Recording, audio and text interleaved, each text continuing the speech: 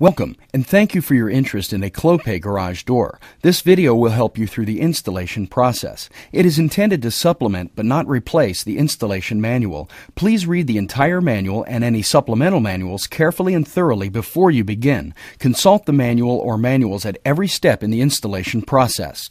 Also, the door we will be installing in the video may vary from your actual door. This is meant as a representation for a typical install. Be sure to review any supplemental manuals for differences in hardware or procedures for your specific door. This DVD is laid out with chapter stops to provide quick access to the installation steps.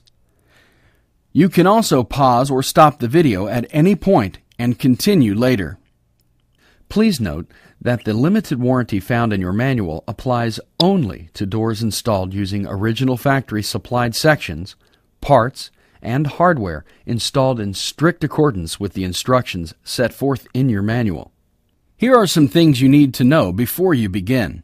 If the garage door is your only access to the garage, be sure that you have everything you need to do the job, as you may be unable to exit the garage during portions of the installation, which may take up to four hours or more, depending on your door.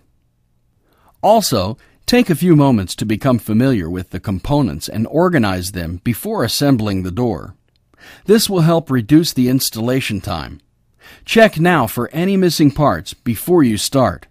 If your door is missing any parts, call the toll-free consumer services number listed on the front of your manual.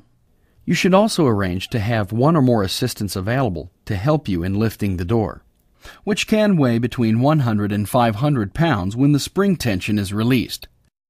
If you will be installing an automatic opener with your garage door, you will need to install a mounting bracket included with your door, or you will need to reinforce the top of your door according to the directions in your manual, using hardware that you will need to acquire. Do not use the bracket that may have come with your opener.